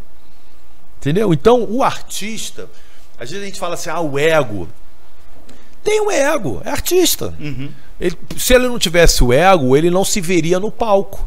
Se ele não tivesse o ego, ele não se viria assim, pô, eu sou melhor do que aquele cara ali. Mas quero, não chega a ser um dos maiores desafios de um AIE. Você sabe hoje o meu maior desafio? Preguiça. Sabe o meu maior desafio? Acomodação. Miopia. Meu maior desafio, falta de foco. Eu tô dando muitos aqui eu tô dando muitos spoilers da mentoria. Eu dou, eu, eu dou uma mentoria, né? Sim. É, terceira artistas, turma tá, tá chegando. É, tá né? chegando aí a terceira turma em março, já estamos já com mais de quase 70% já do, dos inscritos. Mas eu, eu não tenho problema de falar. Quando você chega para um cantor de churrascaria e você pergunta para o cantor de churrascaria, queridão, o que, que você é? Ele vai falar assim: eu sou artista. Eu estou aqui tocando na churrascaria, mas eu sou artista. Aí tu chega para um cantor evangélico e fala assim: Meu amigo, o que, que você é? Eu sou levita, sou missionário, eu sou pastor, eu sou adorador, querubim, eu sou. Agora está muito em voga, eu sou coach, eu sou palestrante, eu sou. Meu amigo, tu, tu é artista, não? Porque artista é quem faz arte. Então, qual é o meu maior problema? Você fala sobre ego, vaidade, piti, frescura. Isso aí, cara, é tá dentro do game. Tá dentro do game. Ah, um artista ficar com ciúme do outro artista porque você tirou uma foto e você tá mais abraçado com ele do que comigo. 30 anos de, de mercado, tiro isso de letra. O que, que me irrita hoje, profundamente? Cantor que tem muito potencial, cantor que tem muito talento, cantor que você faz um trabalho incrível e que ele, uau, explode. E aí passam-se três meses e você pergunta: e aí, vamos, vamos, vamos, vamos. Ele não te responde no WhatsApp, ele não te atende o telefone. Ele chega para você e fala assim: ai, tô cansado. Ah, essa viagem aí eu não quero fazer não porque o voo sai às seis da manhã e eu, eu não quero. Eu não estou mais nesse padrão de viajar às 6 horas da manhã. Então, é, o que, o que o maior desafio hoje é você fazer com que o cantor tenha o foco. Porque às vezes ele ele tem o foco em, em, em vender panqueca na, no Instagram, porque fez uma permuta com uma empresa de panqueca ele, aí ele bota no feed dela, dele lá uma panqueca, uau, linda, maravilhosa, e ele ganhou um fornecimento de panqueca por um mês. Aí ele vai e faz um post sobre um restaurante que ele foi, que comeu tal, certamente está comendo de graça e tal. E você olha no feed ou nos stories e não tem nada de música. Então, o artista que não fala de música todo dia, ele perde. Qual é o grande desafio hoje, não só do, do, da música, mas do mercado? É você se tornar relevante e que você chame a atenção do público todos os dias. Se você tem uma barraquinha de cachorro quente, todo dia você tem que fazer, falar que o teu cachorro quente é o melhor do planeta, para que as pessoas vão até lá. Porque hoje qual é a grande concorrência? Não é a concorrência de produção, é a de atenção é de atenção. Então, se você faz esse podcast, você gravou, uau, tive o Maurício da Sony, diretor da Sony, pô, você tá sonhando falar com ele há um tempão e tal, tal. Ok, tudo bem. Mas depois que você gravar e lançar, se você não divulgar insanamente, fazendo os impulsionamentos e fazendo o trabalho que tem que fazer, cara, vai ter um, um, um podcast reco-reco, horroroso, que se ele fizer mais divulgação, ele vai ter mais visualização do que vocês. Uhum. Então, hoje, o nosso desafio, ele é cotidiano. Tem um filme muito interessante, antigo, eu sou, eu sou mais antigo, chamava-se Feitiço do Tempo. Qual era o, o, roteiro do Feitiço do Tempo? Uma cidadezinha do interior dos Estados Unidos em que, por algum motivo, a pessoa acordava, ela dormia, passava o dia, acordava. Quando ela acordava, era como se fosse o mesmo dia de ontem. Aí o cara parecia que ele estava num sonho e tal, mas era que a cidade, o, a, o dia todo ele se repetia, ele se repetia, e ele se repetia. E o cara começa a entender essa, essa dinâmica de que estava se repetindo, e aí ele procurava fazer coisas diferentes, ou ele se antecipava a coisas diferentes e tal. Mal comparando, a gente hoje vive o feitiço do tempo de ter que se repetir e falar de música todos os dias. Mas você não precisa falar, ouça minhas músicas nas principais plataformas digitais todo dia. Você vai estar tá tomando um café da manhã com a sua esposa e se fala assim: Ô pessoal, tudo bem? Estou aqui ó, com a Margarida, aqui, tomando um café, ouvindo a minha playlist XYZ. Acabou, você já falou de música. Gente, estou indo para o supermercado. Poxa, o supermercado é um programa de índio, né? Mas eu estou sendo salvo aqui porque eu estou ouvindo a minha nova música que está na plataforma Narreço. Ou seja, há uma infinitude, uma infinidade de coisas que você pode falar de música todo dia. Mas para isso você precisa ter planejamento, força de vontade. E é isso que hoje a gente não tem visto na maior parte dos artistas do gospel. Aí tu pega, por exemplo, eu sou péssimo para ser entrevistado, porque eu falo demais. Não, então, você me, vontade, você me interrompe. Vontade. Você pega a Estila, uma cantora madura, já com 25 anos de carreira, e ela chega na Sony com 100 mil ouvintes mensais. Hoje ela deve estar com próximo de 800 mil ouvintes mensais. A Eixa ela entendeu a necessidade dela se reinventar. Ela não ficou falando assim, ah, mas no meu tempo de CD era assim, ah, mas no meu tempo assim e tal, aí eu sou uma artista grande, eu tenho não sei quantos milhões de seguidores e tal. Ela falou assim, chefe, o que, que é para fazer? Vai gravar músicas demais, vamos fazer o maior número de feats, especialmente com artistas novos, e você vai falar de música todo dia. Cara, segue o perfil da, da e você vai ver. É um exemplo. É isso que eu ia te perguntar. Você já foi para o caminho do que eu queria saber. 2021, do início do ano até o final. Que artista, mensurando ali de porcentagem, você destacaria como maior crescimento durante o ano? Dentro da assim, eu, eu, eu, não quero falar em crescimento, mas eu vou falar, por exemplo, o Thales chega com 500 mil, tá com um milhão e meio. Kemuel chega com 9 mil ouvintes mensais, hoje tem 1 milhão e que 600, 1 milhão e 700. É, Fernandinho chega com acho que 800 mil, está com 1 milhão e 800. Então, é, e olha que interessante, todos esses que eu citei até aqui são artistas mais maduros. E esses artistas eles têm discografia, eles têm catálogo. É diferente de um artista, por exemplo, que ele tem um hit e ele só tem aquele hit e aí ele pode talvez ter uma carreira de mais 3, 4 anos e ficar preso naquele hit.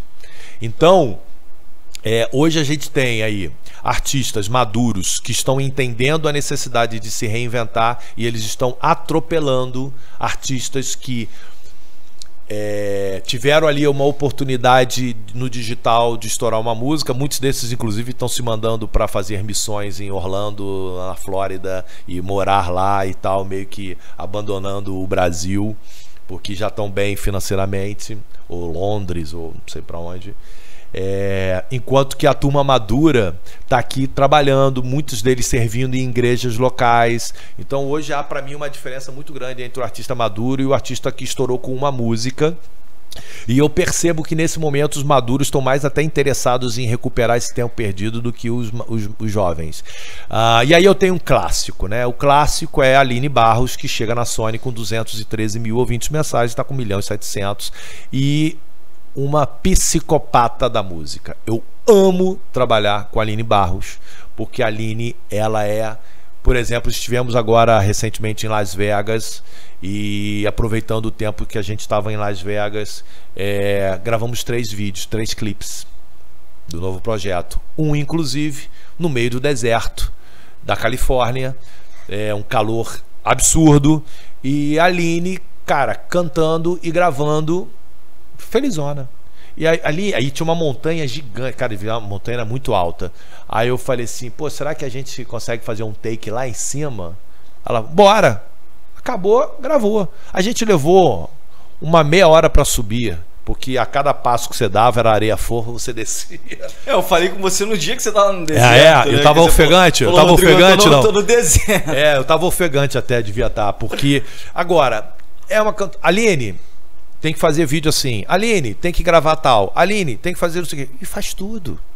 E você encara como um trabalho mesmo ali Ex e faz com excelência. Se enxerga como artista. Ela é pastora na igreja comunidade da Zona Sul. Dedica, Semanalmente está lá Dedicadíssima, não canta domingo em evento nenhum, tá sempre lá na igreja. É um exemplo de, de artista que entendeu o seu papel na, na, na, no ministério local. Mas não tem tempo ruim, cara. Não tem tempo ruim. Então, o momento hoje, eu diria que é o seguinte: talento é importante, só que o talento ele está nivelado no meio gospel. O que mais tem é gente que canta bem. Tanto que lá na Sony, os meus parceiros de AR, quando eles querem elogiar um determinado artista, eles falam um palavrão e na sequência, na sequência fala assim: canta igual gospel. Pi, cara, canta igual um gospel. Por quê? É refer a referência do gospel é que todo Dos mundo melhores canta cantores, é. os melhores. E você vê isso no secular, no, no secular do, do exterior, né? Whitney Houston, Mariah Carey e tantos Beyoncé foram cantoras de igreja. Elvis Presley. Então cantar dentro do universo da música gospel eu diria que é o básico. Sabe aquele carro básico que não tem nem o step? É o básico. Então, o que, que faz a diferença para você se tornar um, um artista gigante no gospel? Nesse momento, foco. Foco conhecimento, é entender o que que, o, o que que você precisa fazer, é entender o que que cada plataforma precisa. Então, fazendo o meu merchandising aqui, por que que eu criei a mentoria?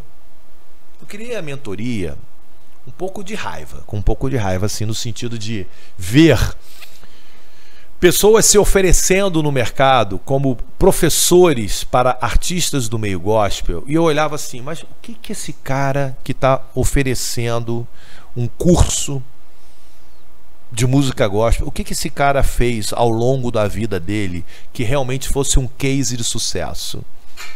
Nada.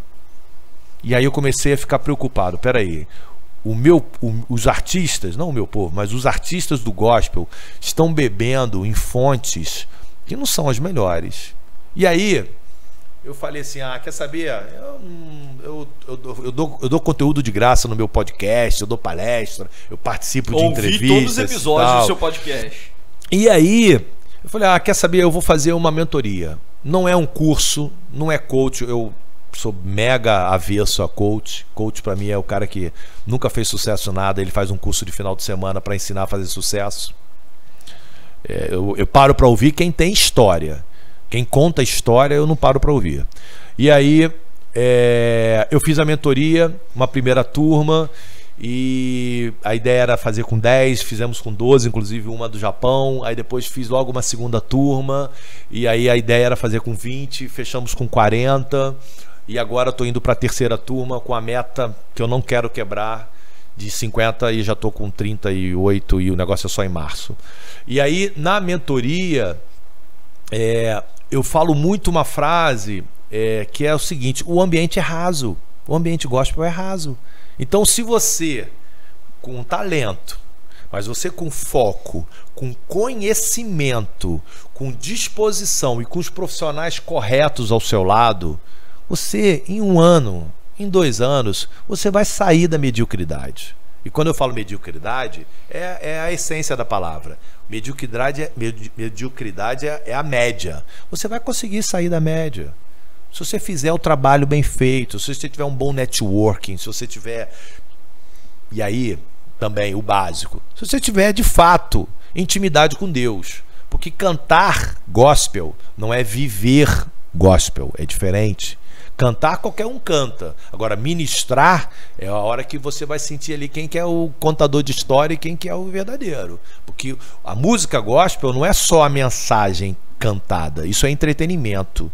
A música gospel é muito mais do que isso, é o quanto que você está entregando, o quanto que você a tua vida está refletindo naquilo que você está cantando. Então, se você não tem base bíblica, se você não tem intimidade com Deus, você não tem quarto secreto com Deus, se você não tem relação com a tua igreja local, tu vai ser só um papagaio. Quem está feliz com Jesus diz amém. Vira pro lado do seu amigo e diz aí, glória a Deus, oh, você tá bonito. Um monte de frase feita e frases ridículas, é, fracas. Isso não leva ninguém à adoração. Isso, isso no máximo pode arrepiar. Só que o arrepio é epidérmico. A música gospel ela transforma, ela muda, ela fica. Então, pessoas que eu vejo, cara, sua música me fez repensar minha vida. Isso é música que transforma. Então, música que entretém, tá cheia aí, cara. Inclusive sertanejo, funk, pop e tal, entretém. Agora, muda? Não muda. A música que de fato muda é a música que tem consistência. Então, o, o, o que falta ao, aos cantores cristãos, primeiro, é se veem de fato como artistas. E não achar que. Ah, e isso é um conceito muito comum no nosso meio. Ah, esse cara aí não é adorador, não, ele é artista. Não Essas é falas equivocadas. Essas falas deturpadas, tortas e, e toda mentira repetida muitas vezes se torna verdade, uhum. né? Então, o, o artista cristão, para não ser taxado como artista, que seria algo pejorativo, ele começa a criar subterfúgios. Ah, sou adorador. Lá no passado, vários dos grandes artistas, eles não eram os nomes deles. Era ministério, ministério ouvir e crer, ministério palavra profética, ministério faz chover, ministério blá blá blá e ministério tal tal tal. Mas no fundo, no fundo, o que que era? Um cantor. Aí até que começou a dar problemas ali com bandas e questões jurídicas e tal, e o cara falou: quer saber? Não tem mais ministério, não. Agora sou é o Joaquim, é o Manuel e, e é isso. Então, e aí, alguns desses se tornaram pastores. Dentro da música cristã tem muita gente que, ah, eu sou pastor tal. Não, cara, tu é cantor, tu é artista, tu é pastor se você tiver rebanho. Pastor, rebanho. Se você não tem rebanho, se você não tem igreja local, você é o quê? Palestrante você é um pastor itinerante, você é um coach, você é qualquer coisa. Agora, pastor cuida de ovelha. Se não tem ovelha para cuidar, eu não considero como pastor. Ah, não, mas eu sou pastor das multidões. Ok, então você é o pastor palestrante, você não pode ser cantor. Entendeu? Sabe, sabe que é semântica? A semântica é uma coisa muito importante essa noção, né, que muitas das vezes, infelizmente, falta nas pessoas. Você falou da mentoria, quem quiser se inscrever, como que pode fazer? Nós temos um, um e-mail, que é o mentoria AG, né, de mentoria artística gospel, mentoria AG, arroba gmail.com.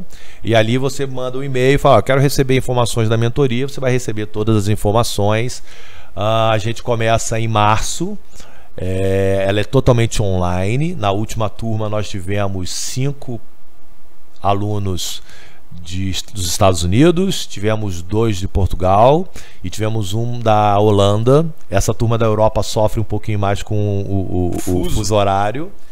Mas foi linda, a segunda turma foi linda, foi uma, uma experiência incrível. Até hoje a gente continua uh, se falando e A galera ama a mentoria. Ama. Né? Ama. O Roberto, a gente tem tido o contato com a galera que se tem passado e a galera. Ama, virou uma confraria, cara, quase uma seita, assim. Ficou um negócio doido, assim, porque.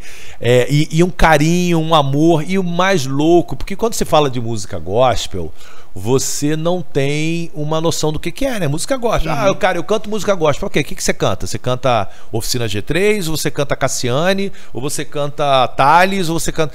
E a, e a mentoria foi exatamente isso. A gente tem gente do cantor maduro, gente que nunca cantou, professora acadêmica, doutoranda, que nunca cantou e que quer cantar bossa nova e samba com seus 50 e poucos anos de idade. A gente tem cantora de Portugal, nós temos cantor de rap, nós temos cantor de pentecostal do Reteté de Jeová.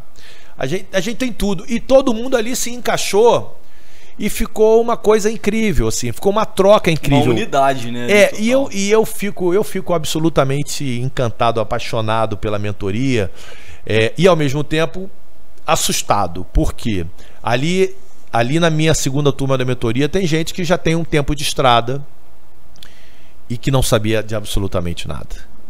A primeira aula, que foi uma aula que sempre é uma aula muito de, de, de choque de realidade, de números e de ó, é isso, é isso, é isso, então é uma coisa bem mais técnica. E as pessoas falam: "Uau, Eu falei, gente, vocês moravam aonde? Vocês estão vivendo em que mundo? Para não saber isso, né? Então, a, a, cada aula, e a gente tem as aulas sempre às terças e quintas-feiras, às 8 da noite, a gente fala sobre um tema. Então, eu falo sobre um tema sobre planejamento, a necessidade do planejamento.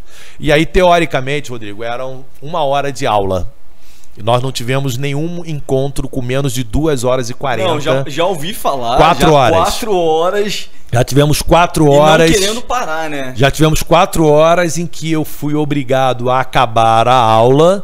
E aí fui cair na asneira de ao me deitar olhar o meu WhatsApp da mentoria, do grupo da mentoria. E aí a gente ainda ficou mais uma hora e meia falando no grupo da mentoria ali no então, quem, WhatsApp. Quem faz realmente mentoria recebe uma, uma atenção total. Planejamento, ali, né? logística, plataformas, uh, cronograma, como você faz para lançar o seu material, é, um detalhamento de rede social, detalhamento. E aí como eu não sou o expert de tudo, eu entendo, eu entendo general, de forma generalizada de, de tudo do mercado, mas eu entendo que eu tenho as minhas deficiências e nem quero ser o cara que sabe tudo.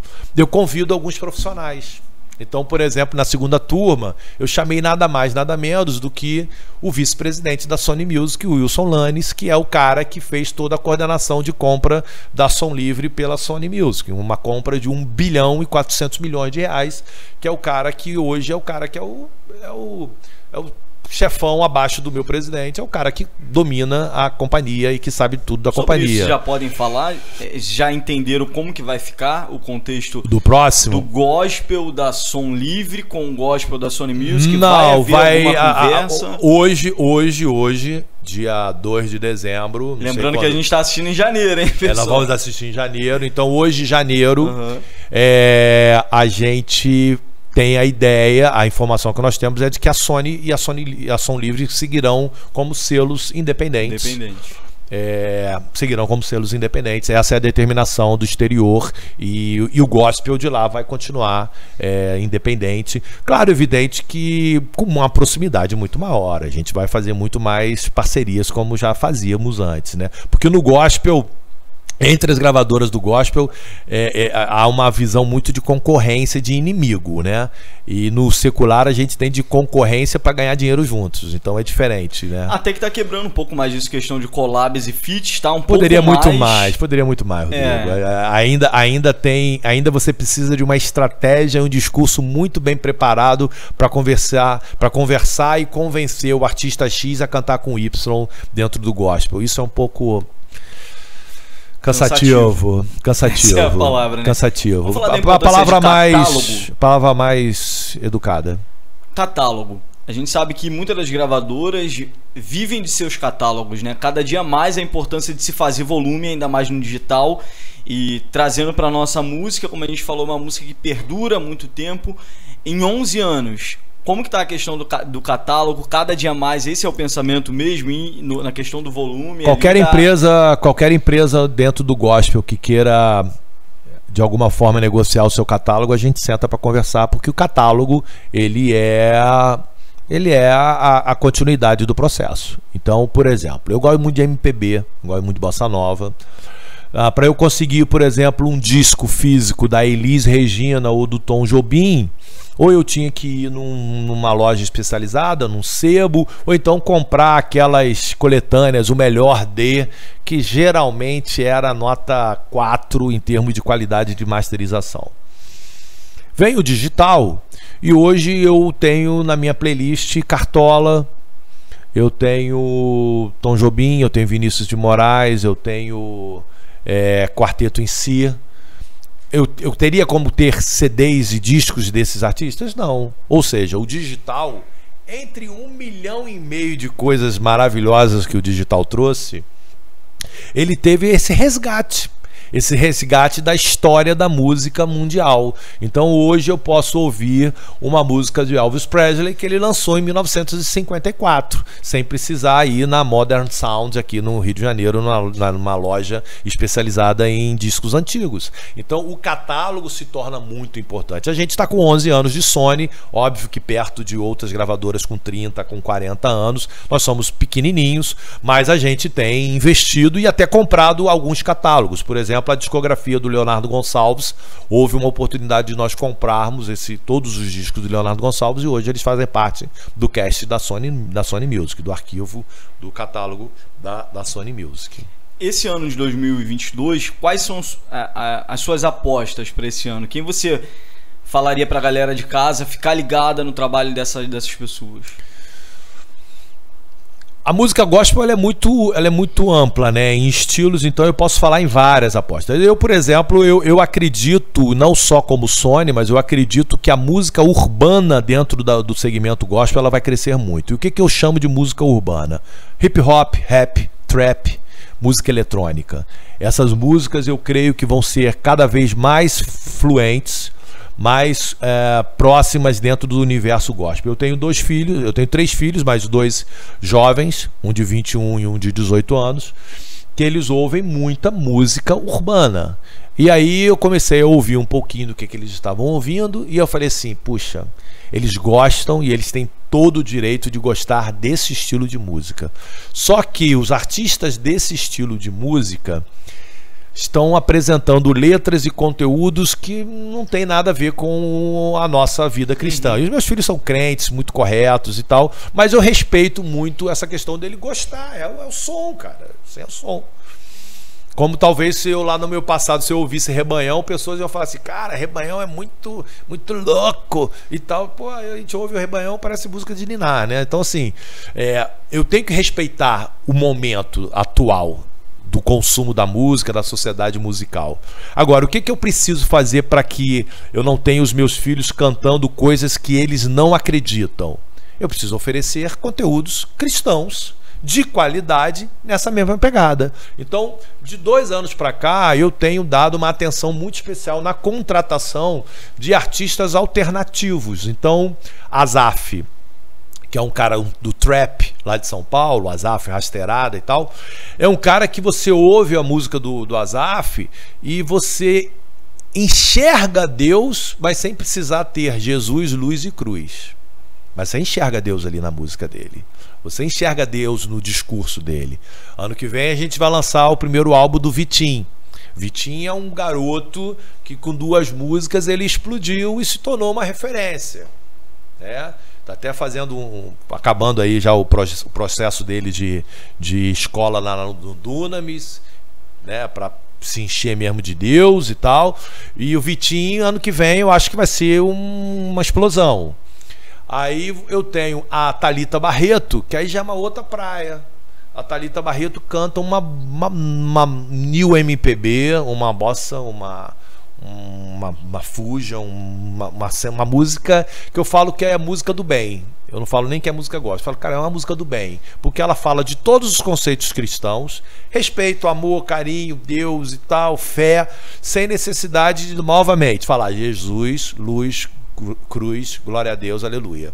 Então, essas são algumas apostas, o Azaf, a a Talita, a Lady Murilho, que aí já vem numa linha já de, de black, que eu acho sensacional também, como ela tem crescido. É...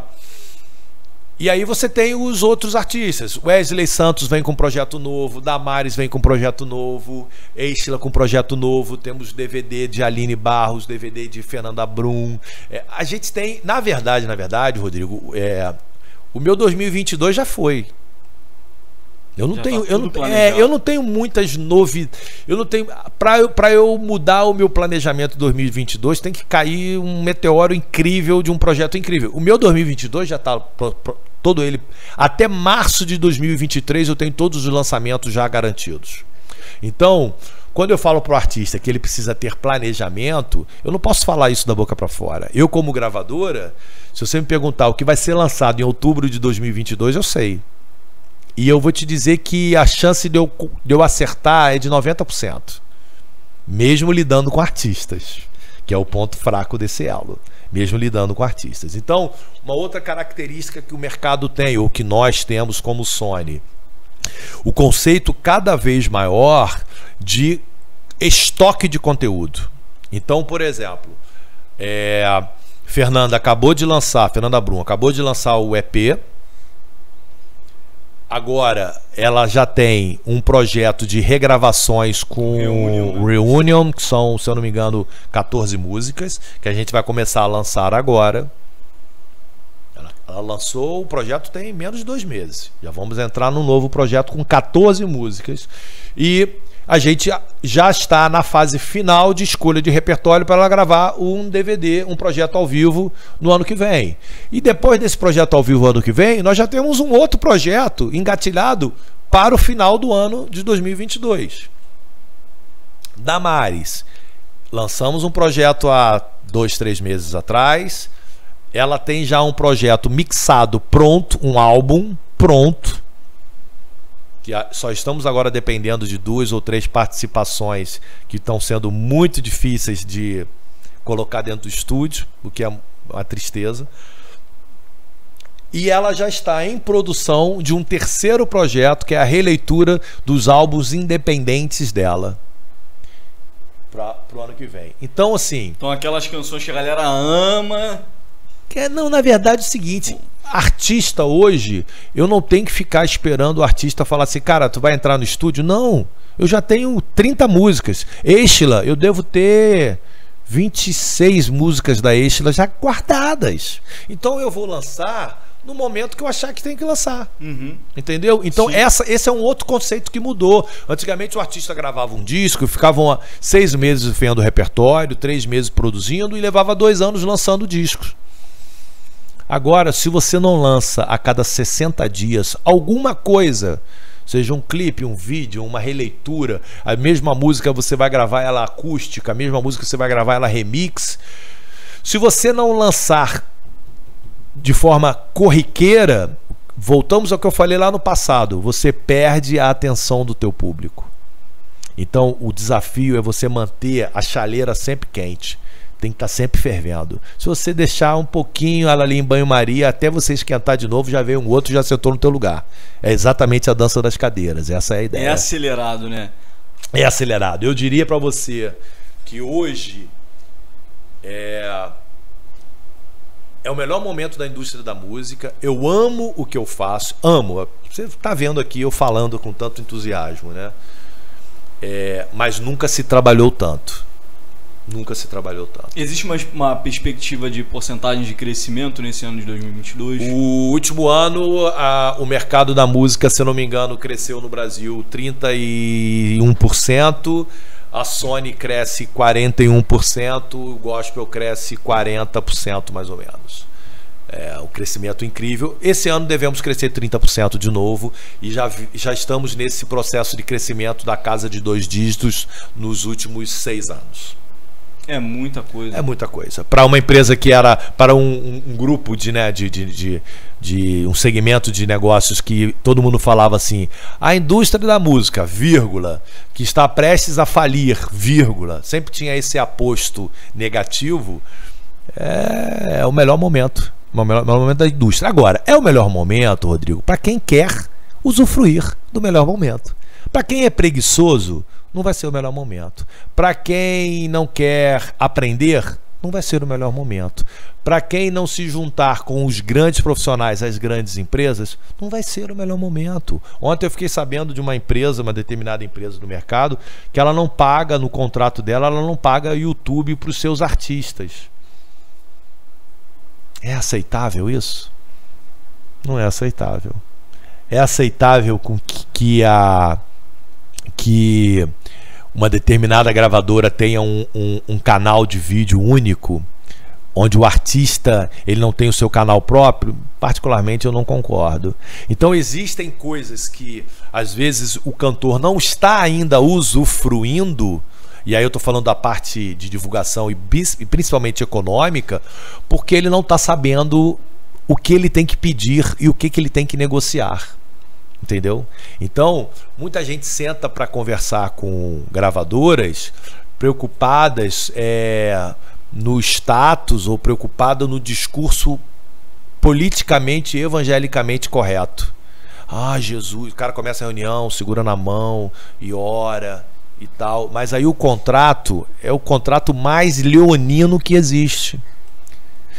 Então, assim, é importante que o artista entenda que numa, numa negociação é negócio. Não é Deus me deu uma promessa, Deus me falou. Não, querido. Deus é um Deus de reação. A primeira parte é contigo. Faz as coisas certas e ele vai multiplicar o que você fez. Agora, você fazendo coisa errada, o máximo que ele pode fazer é te livrar ali depois. Mas ele não vai fazer milagre. Milagre não é, não é, não é assim. Você não vai, Deus não gasta milagre desnecessário. Ele confia na nossa capacidade. Então ele vai fazer com que você se torne uma pessoa é, próspera, mas é fruto do teu esforço. Não tem essa de você, eu, né, na época de adolescente, orava, subia um monte, ah, eu quero ganhar nota 10 na prova. Se você não estudou, campeão, vai levar zero. Ferrou. Tu pode estar tá cheio de fé, pode estar tá no reteté, tu pode estar tá rodando por rabo de. fazendo tudo, fazendo o que tiver.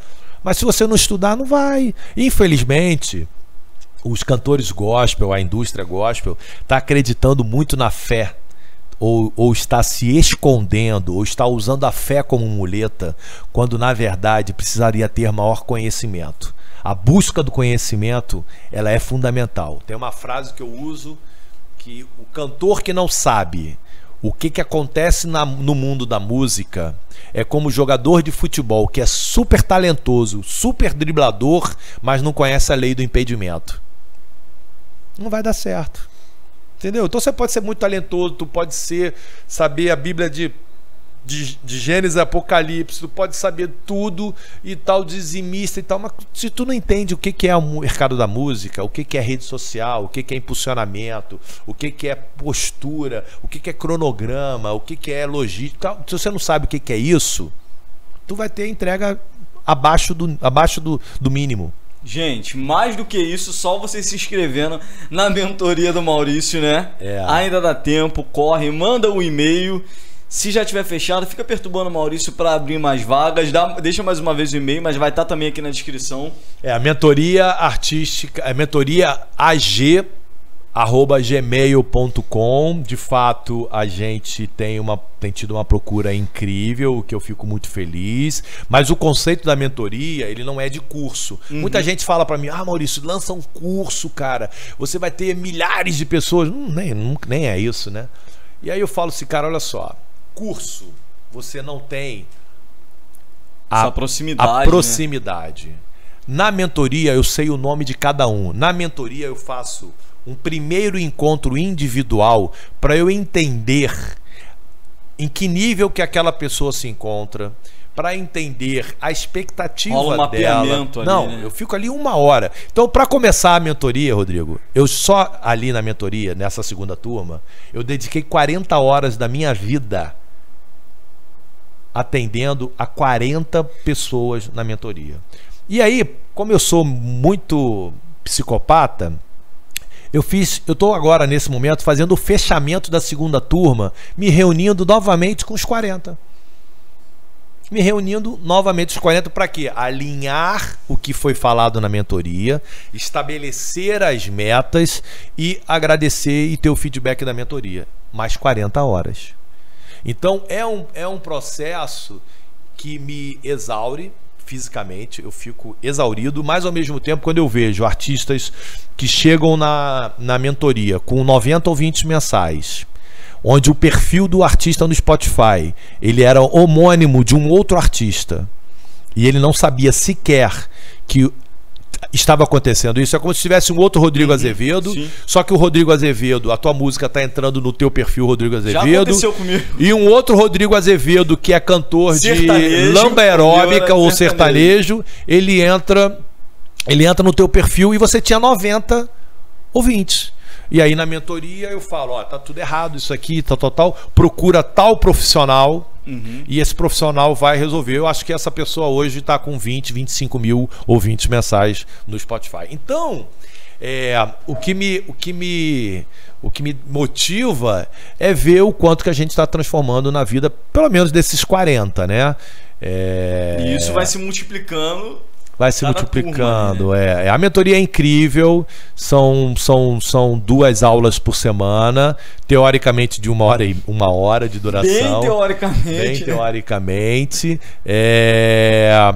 E, e, a gente convida muitos profissionais. Eu convido gente da área de produção musical, eu convido gente da área de marketing. Eu chamo os, os, os editores das plataformas. Então, Lincoln Baiana participa conosco, o Wellington participa do, conosco do Spotify. É, a gente nessa próxima nós vamos ter a participação do Ananiel Eduardo, que é um produtor muito renomado. Vamos ter uma aula que nós não tivemos na segunda mentoria com um diretor de cinema para falar sobre a importância do vídeo. Então, era, e aí outra coisa, eram 10 aulas e fechamos em 14. Fechamos em 14 aulas, tivemos uma coach vocal, uma preparadora vocal também falando. Então é uma troca vários muito bônus, especial. Né? É, vários bônus, vários bônus. Cara, assim, Seu a minha, pai, né? É, a minha esposa, cara, que é uma terapeuta mega renomada, fala, faz um trabalho sistêmico lindo. Um dia eu convidei ela, falou assim, Pô, o povo chorou nesse dia, né? Chorou, mas tu tá bem informado, hein, Rodrigo? informado. É, eu, eu chamei ela, falei, poxa, uma das coisas que eu percebo nos artistas é a sabotagem e a questão da identidade. Você falaria para eles? Cara, ela, ela falou para eles por três horas. E eu te confesso aqui que eu fiquei até com ciúme. Porque eles ficaram tão apegados à minha esposa, tão assim. E hoje muitos deles, deles são é, é, pacientes dela na terapia. Ela, ela, faz essa terapia com alguns deles. E de vez em quando eu falo assim: Ó, oh, não vai me abandonar por causa da minha esposa, não. Minha esposa é Renata. Não vai me abandonar por causa da Renata, não. Então, não, e tal. Porque é, para você estar bem profissionalmente, para você estar bem na tua vida, é importante que a tua mente esteja bem, né? A gente é feito de corpo, alma e espírito, né? É, a tua mente precisa estar bem. Então, para você ser um cantor de sucesso, você saber, precisa estar bem com a tua cabeça. Então eu incluí essa aula, que foi uma aula que na primeira turma a gente não teve e que seguramente a gente vai ter na terceira. É, então é isso, a mentoria ela é uma, uma experiência incrível. A mentoria é, de fato, o conceito de mentoria é uma relação próxima entre alguém muito experiente com pessoas que querem aprender. E eu acho que esse é um projeto que eu vou me orgulhar muito porque é o que tem acontecido. Assim, é uma troca de experiência, é um carinho e. E é um legado. É um legado, é um legado. Eu tenho, eu tenho vivido meus últimos anos com a ideia de, de fato, deixar legado. Não tô, não tô querendo partir para a glória agora. Tenho filhos ainda para cuidar, tenho família para cuidar. Mas hoje, cada vez, o que, me, o que me motiva a estar hoje aqui contigo, por exemplo, é saber que, de alguma forma, o meu legado, a minha experiência. Como eu não tive, Rodrigo, é, ao longo dos meus 30 anos, eu não tive professores eu não tive essa oportunidade. É, eu fui aprendendo à medida que eu errava e que acertava e que eu estudava. É, uma das coisas que eu, que eu entendo é que eu não posso reter informação. Tem gente que retém informação. E, e, e como se isso fosse um, um, uma, uma, um potencial a mais que ele teria. E eu, pelo contrário, eu não quero ser o, o Neymar jogando com um monte de, de, de perna de pau. Eu quero ser o Neymar disputando a Copa do Mundo em alto nível. Porque se eu ganhar, eu vou ganhar duas dos melhores. Então, a, a, o nível o nível do mercado gospel, eu, eu e aí não estou incorrendo no, no risco de ser arrogante, presunçoso, mas é um nível muito baixo e a gente precisa reverter isso, sabe? Eu tenho uma autoestima muito boa porque nas reuniões internas da Sony, quando a gente pega o resultado de um Pablo Vittar, de um Gustavo Lima, de um Avni Vini, de um, um, um vamos lá, um, qualquer outro artista, um Matue, os caras estão falando de em uma semana ter 800, 1 milhão de streamings e a gente está vibrando quando a gente tem 60 mil streamings de um artista que às vezes tem 20 milhões de seguidores nas redes sociais. Então, o artista gospel é um fenômeno de rede social e um fiasco de streaming. E a gente precisa reverter isso, urgente. Porque senão daqui a pouco, tudo que a gente conquistou até aqui, há um risco das próprias gravadoras. Eu entendo, assim. Fala assim, olha, a gente está ganhando tanto dinheiro aqui que a gente não precisa tanto investir no gospel. Graças a Deus, no meu departamento, na área que eu, que eu sou o gestor, Ano a ano a gente vem quebrando em recorde de EBIT, que é o lucro líquido. O que, que sobra de dinheiro para a companhia ao fim do ano? Ano a ano a gente está quebrando recorde. E não diferente nesse ano, a gente está no maior faturamento, no maior receita, no maior EBIT, no maior profit. Então, eu, Maurício Soares, junto à minha companhia, eu tô com muita moral. Só que eu não sou nada perto do mercado gospel. O que eu queria era que o mercado gospel tivesse a mesma moral que eu, como executivo, eu tô tendo. Entendeu? Então, uhum. por isso, essa minha vontade de fazer com que. Gente, acorda, acorda. Mas eu confesso também que chega uma hora que cansa, né? Imagino. Maurício, quero agradecer demais esse papo tão enriquecedor aí que vocês puderam acompanhar. Quero convidar você a seguir o Maurício se você ainda não segue. E se você não segue, você tá marcando bobeira, hein? Tá também aqui o e-mail da turma da mentoria para você poder se inscrever. Se inscreve também aqui no nosso canal e ativa o sininho para você não perder nenhum desses 12 episódios aqui incríveis dessa primeira temporada do Super Gospel Mais. Valeu, galera. Deus abençoe.